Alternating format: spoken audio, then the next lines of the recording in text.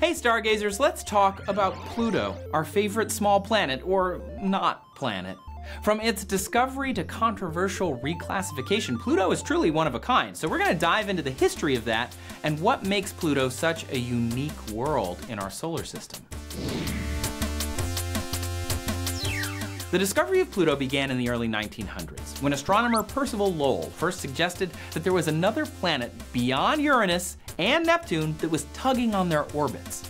Astronomers were on the hunt for this theoretical Planet X, and they found Pluto and deemed it the ninth planet in our solar system.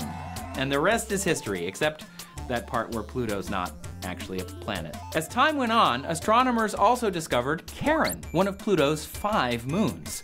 Pluto and Charon are like the dynamic duo. They're known as our solar system's only double planetary system, and this is because Charon orbits Pluto in such a way that it neither rises nor sets. Their surfaces are always facing each other.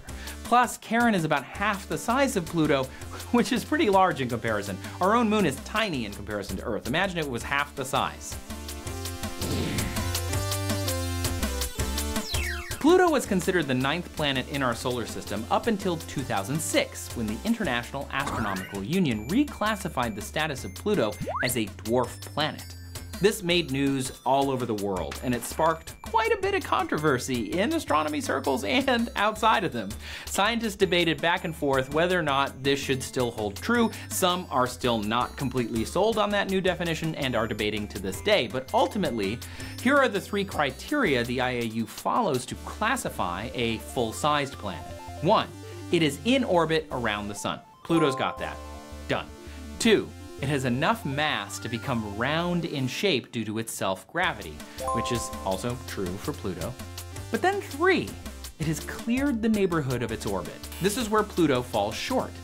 Pluto's gravitational pull is not dominant in its orbital path around the sun, and it's actually crossing orbit with Neptune.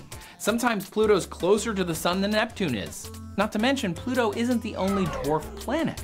There are four other Pluto-sized bodies in the solar system, Ceres, Haumea, Makemake, and Eris. If we reclassify Pluto to be, you know, a fully fledged planet, what would become of these other dwarf planets? So, as much as we would love to call Pluto our ninth planet, it's technically not true today. But Pluto is still just as cool and unique as it's ever been. It has an icy mountainous surface, it's got five beautiful moons, it makes a pretty spectacular dwarf planet, I gotta say. We'll see you next time on Stargazers, everyone. Remember, keep looking up. For more stargazers, click the video below. Don't leave me hanging, come on. Click it.